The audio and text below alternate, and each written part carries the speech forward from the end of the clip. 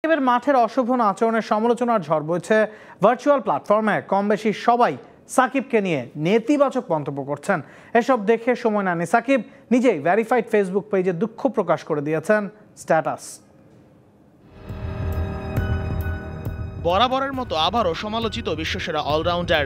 মাঝের মধ্যে দুই দুইবার স্ট্যাম্প শিরোনাম হলেন বিশ্ব মিডিয়ায়। সাকিব যে কর্মকাণ্ড ঘটিয়েছেন তা কোনোভাবেই সমর্থন দিচ্ছে না আন্তর্জাতিক গণমাধ্যমগুলো। এই ঘটনার জন্য রীতিমতো তিরস্কারের শিকার হচ্ছেন দেশেরা অলরাউন্ডার।